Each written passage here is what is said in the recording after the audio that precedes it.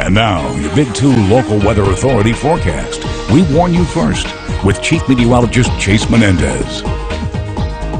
Well, good evening, everybody. We're starting to see these clouds overhead begin to part a little bit. Still a lot of cloud cover overhead, and some of those clouds are a little bit gray, indicating we still have a chance to get some of that light rainfall that's been going around the basin here in the central basin. Fingers crossed. But at least the wind speeds have calmed down. We can see the Sky Tracker actually pretty steady right now. And thanks to that Sky Tracker network, we've got a good look overhead in Midland at those gray clouds. Again, beginning to break up. But we do have a lot of rain out throughout the entire south of the United States. A lot of rain on the coast of Texas as well as the coast of Louisiana, all driven by this Gulf. The Gulf of Mexico, pretty warm. Now, it is summertime here in West Texas. We've seen a lot of triple digit days, but temperatures in the Gulf actually mid 80s, about 85, 86 degrees, depending on where you're looking at it. And that is actually a lot of heat for the Gulf of Mexico. Now, that warm air has a tendency to rise upward. That rising motion, especially when it occurs over a large body of water,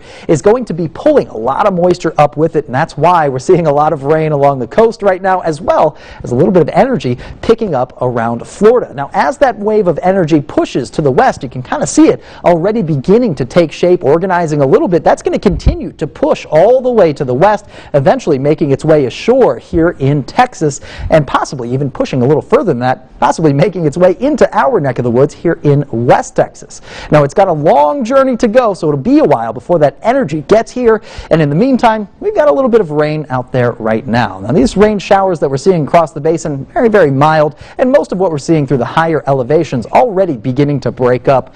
The Marfa Plateau, for example, saw a pretty good amount of rain earlier in the day. Now, most of that is almost entirely out of the way, except for a couple of showers still lingering on south of Balmorhea and Fort Stockton.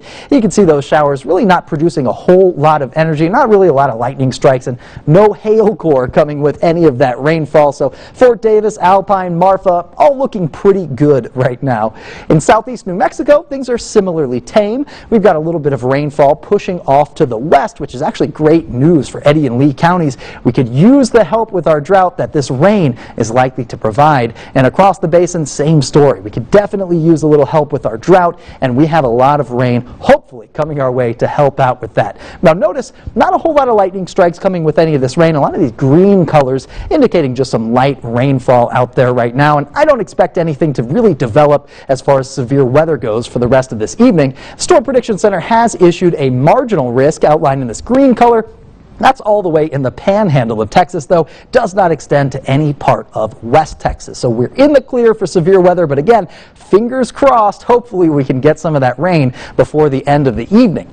Now, as we get to tomorrow, we've actually got another chance to see some of that rain, some spotty clouds popping up, some isolated thunderstorms likely to develop. Wind speeds will be a lot calmer than we had today, but overall, a very similar setup for tomorrow than what we had for this afternoon.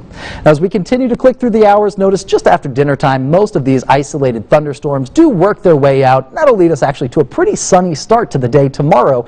In the morning time, at least, we'll see some clear skies overhead, but as we click over into the afternoon time, notice a lot of cloud cover spilling over into the basin and a lot more isolated thunderstorms popping up in the afternoon hours. Now, we're really not looking at a lot of potential for any severe weather, but notice where these storms are popping up, just very scattered throughout our viewing area. So each location here in West Texas actually has a pretty significant chance to see some of those isolated thunderstorms overhead. But just like what we saw earlier today, not really a whole lot of severe weather potential. The Storm Prediction Center has issued a severe weather risk very far away from us here in West Texas. So if we do get any of that rain, it should stay just that regular old rain. No chance for hail. 95 degrees will be our high tomorrow, 94 Thursday, and 96 Friday, hanging around average. And then as we get to Saturday, that's when that wave of energy in Florida, or currently in Florida, could make its way into West Texas. So Katie and Eddie, looks like this weekend could be a little bit rainy, but you know, that's not a bad thing. Yeah, it's not. Catch up on those books you've been wanting to read. There you go.